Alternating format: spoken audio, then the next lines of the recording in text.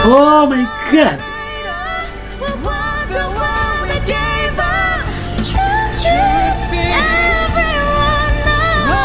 Teka lang, ulitin natin yan, ulitin natin, ulitin natin, ulitin natin.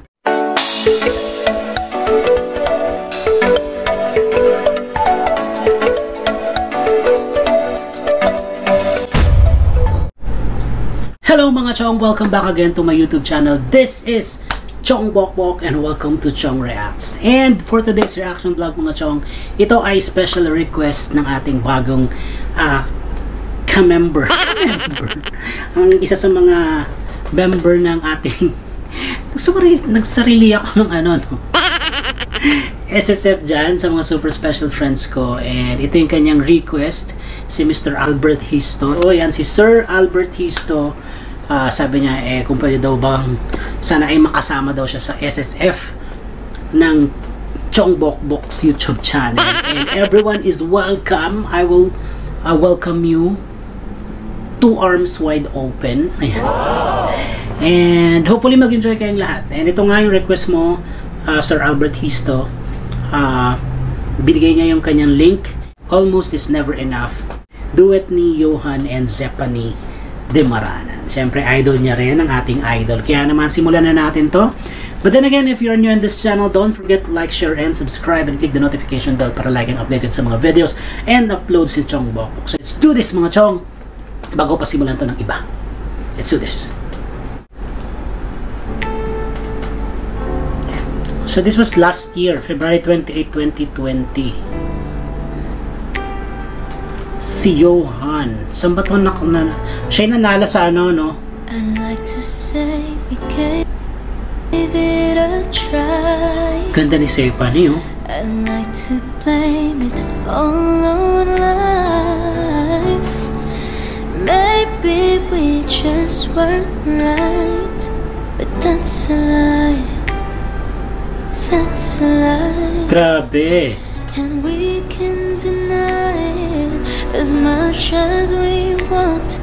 But in time, our feelings will show. Oh my God. Cause sooner or later, we'll wonder why we gave up. The truth is, everyone knows. Oh my God. Almost, almost is never enough. Ganda ni Stephanie, grabe. So close to being in love. If I would have known that you wanted me the way I wanted you, Oh my God, ah. then maybe we wouldn't be two worlds apart. But right here in each other's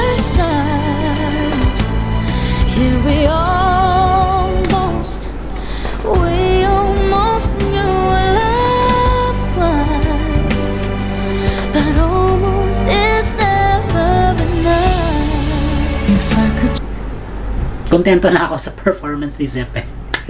Kontento na ako, ang galing. Ang ganda. Tsaka yung mga pagkulot-kulot niya na, na ano ako, nakaka-amaze ako. Kasi, hindi ko ina-expect na mag, mag, mag, ano eh, yung, yung boses niya, mag R&B, magkukulot-kulot. Hindi ko ina-expect yun. Talagang hindi ko siya ina-expect na gano'n.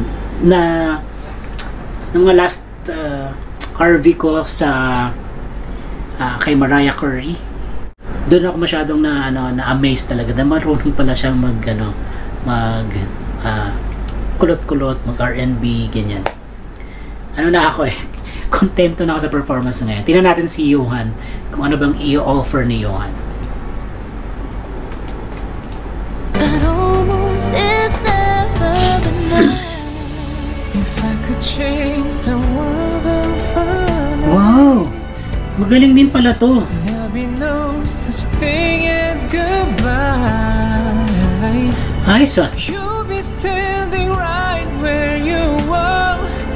We get the chance we deserve. Oh, I try to deny it as much as you want. Gopings din to ah But in time, our feelings will show. wow ayos yan ah oh my god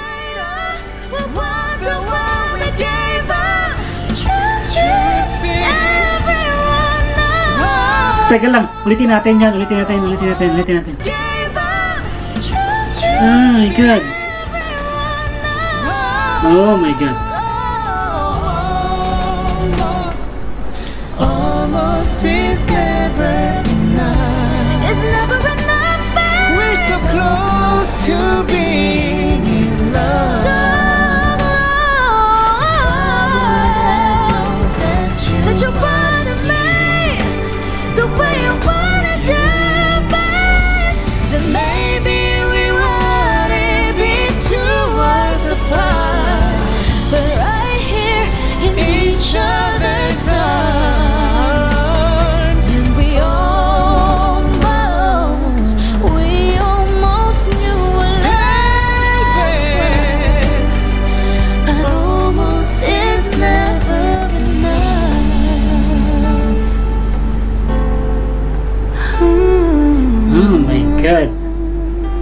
Ganun pa lang ni Stephanie.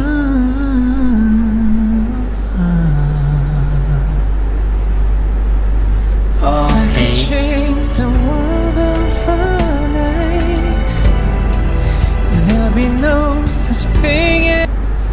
So, yun pala yun. So, thank you kay uh, Sir Albert Histo sa iyong pag uh, pag-request nito and pag-recommend sa akin, pag-suggest nitong link na to. And ang ginawa ko na lang talaga eh, clinic ko na lang siya. ba? Kaya naman mabilis na napunta natin yan. And of course, siyempre, eh, alam naman alam naman natin na kinakanta na ni ni Zephany yung ano eh, kanta ni Ariana Grande, 'di ba? Doon nga sa The Voice eh, yung ah, I forgot the title. Basta kinanta niya yung kanta ni Ariana Grande, sumasiyaw pa siya. Tapos doon lang napasayaw si ano si si Coach Bambo. Kaya naman sisiyaw na sa kanya tong almost over enough. Almost over enough?